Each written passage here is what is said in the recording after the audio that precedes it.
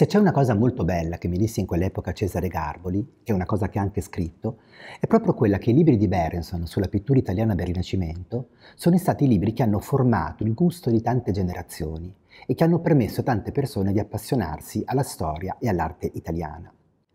Questo per me, quando ero ragazzo, non era una cosa molto chiara, perché consideravo veramente questi libri un po' difficili da, da decifrare. Però Resta per me affascinante quello che mi ha lasciato Garboli, cioè l'idea che questi libri abbiano fatto incantare qualcuno.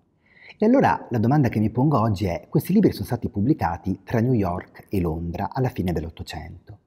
Ecco, mi chiedo che cos'era questo corridoio tra l'Inghilterra e la East Coast degli Stati Uniti.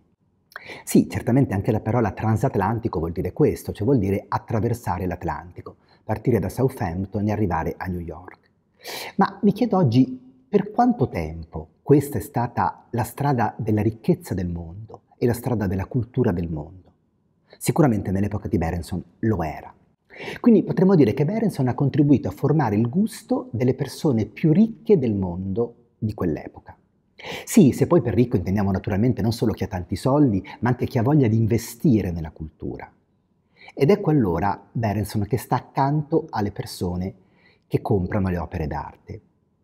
Qui mi rendo conto che quando si inizia a parlare del denaro entra dentro un altro tipo di cosa, un altro tipo di pulsione. È difficile dire che il denaro sia il piacere di qualcuno.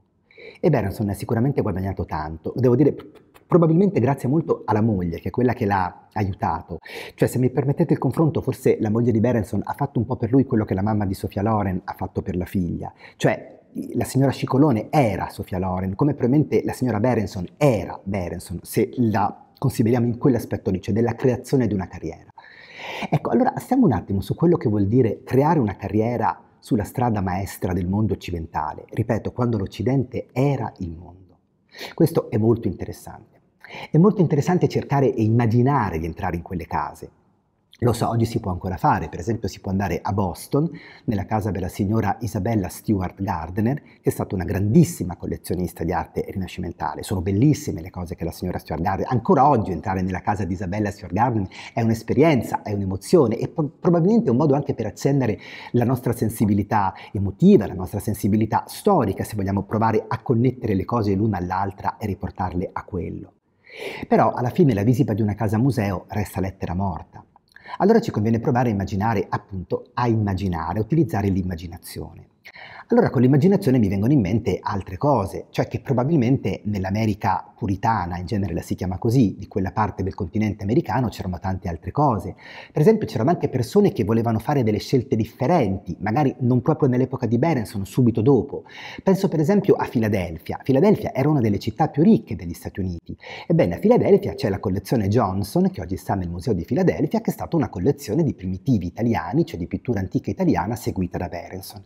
Eppure proprio a Filadelfia c'è stato un modello di collezionismo completamente differente, quello del signor Barnes, che era un modello di collezionismo fatto di cose per i negri, cioè fatto per altre persone, per persone di altra razza.